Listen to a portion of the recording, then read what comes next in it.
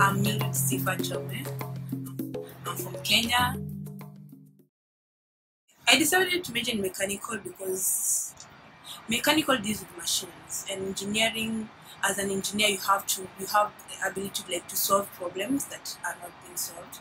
So this apart from all other all other engineering, I saw mechanical engineering as the central of all engineerings because you tend to like do what a chemical engineer can do, what an electrical engineer can do, what a civil can do. So it's like we are the central engineers. So that's what that's what made me because I wanted to be an engineer, but I wanted to do something that touches all aspects of engineering, not just one. Uh, we are four kids. So I have an elder brother and two smaller sister, but you I live with also like my cousin. We're made up with my mother and father, and also live with my grandpa, with my, grandmother. I'm so passionate about music, and it comes I think from home.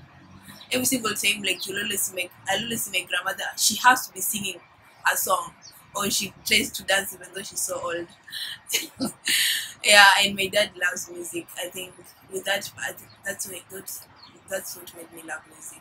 I'm in a choir, University Gospel Choir, and I'm uh, I'm joining the it's APF. It's a band. When I think of the King Morgridge Scholar, these two families ha- are giving back. They're giving back to the community. They may have gotten that back through education or other sectors, but they're giving it back to somebody like me.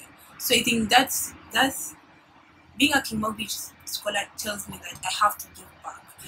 To whom much is given, much is expected. So like being a Morgridge scholar, I, I, I know that much is expected from me as a person. We were a group, like the Zawadi, the Zawadi girls, we are three of us from Kilifi.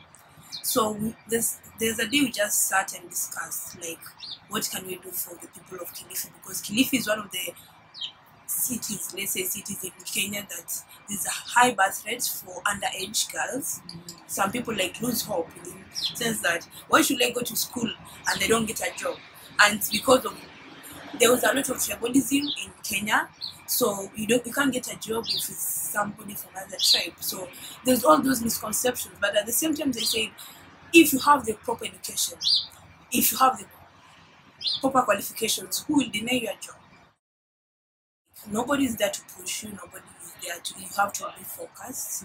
And being focused and trying to do what is right to your conscience is what will help you as you progress in this university. And also know like know your goals, know what you want to achieve in life, and try as much as possible to align yourself with people who will help you and people who will guide you the right way.